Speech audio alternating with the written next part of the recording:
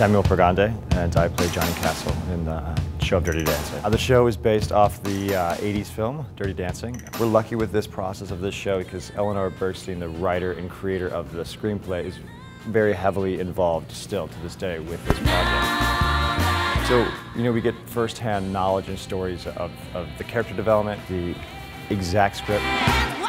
You still get all the uh, dance scenes, you still get all your favorite moments of the film, all those iconic moments that people are kind of uh, excited and, and, waiting to hear and see. I would say my favorite moment, just after you deliver the line, nobody puts baby in a corner. You look across the stage and you look at a baby's eyes and the excitement just before you start that dance and the energy with the audience and they're right there with you the entire time and so you kind of get to like relive that every evening that you do the show, which is great.